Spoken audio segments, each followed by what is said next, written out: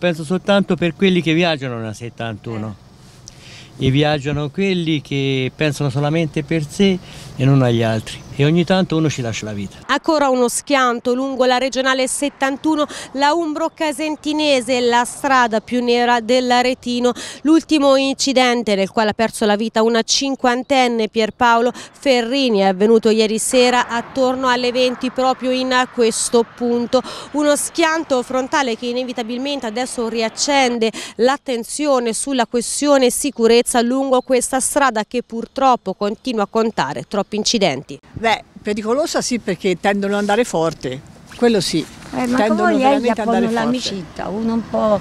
Ci sono dei limiti di velocità che non vengono rispettati, quindi questo è anche un altro problema grande, penso. Diciamo ti puoi trovare in un, in un problema rischioso se qualcuno non rispetta il codice della strada e questo capita. Io la faccio una volta alla settimana, però non trovo tanto pericoloso. Il traffico è regolare, e perlomeno non ci sono pericoli imminenti sulla strada. Ci sono però tanti incidenti lungo quella strada. Dipende sono, come sono avvenuti gli incidenti. A volte una distrazione può essere, ma non certo per, per il tragitto stradale.